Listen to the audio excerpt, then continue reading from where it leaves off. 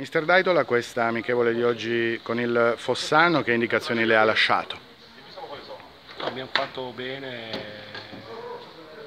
dopo dieci giorni di lavoro, una, una buona gara, una gara di solidità come avevo chiesto, perché comunque abbiamo affrontato una, una squadra che ha delle, una caratura per, per, il campionato importante. Mi interessava vedere questo tipo di atteggiamento, di sacrificio collettivo nella fase di non possesso l'abbiamo fatto bene che siamo sulla strada giusta. Su cosa lavorerà di più nei prossimi giorni in vista del, dell'inizio del campionato?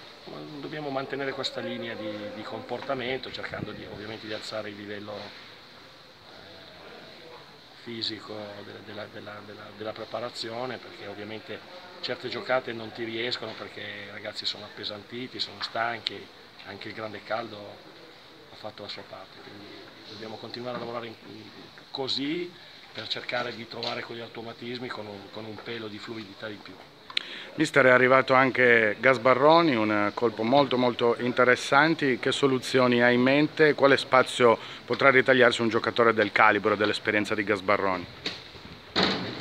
Deve ritagliarsi lo spazio che, che, che, che accompagna la carriera che ha fatto questo ragazzo, il nome che ha e quindi alzare il livello tecnico, livello di esperienza e di qualità per tutta la squadra. Adesso lui ha un piccolo problema, quindi inizierà ad allenarsi dopo Ferragosto, lo aspettiamo e speriamo che ci dia un contributo importante.